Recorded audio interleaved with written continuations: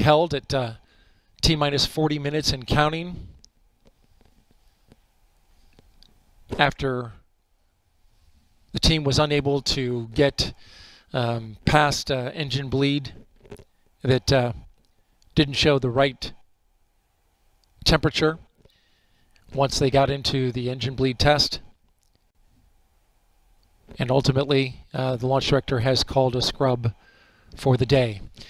The earliest opportunity, depending on what happens with this engine bleed, would be September 2nd. That is available to the launch team. However, we will await a determination of what the plan is to go forward to remedy the engine bleed and then go from there.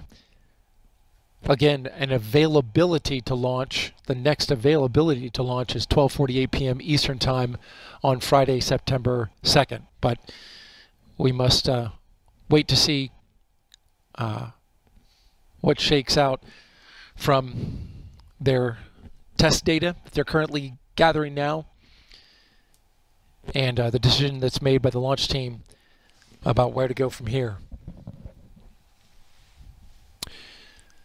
We appreciate you watching NASA TV and our coverage of the Artemis 1 launch attempt.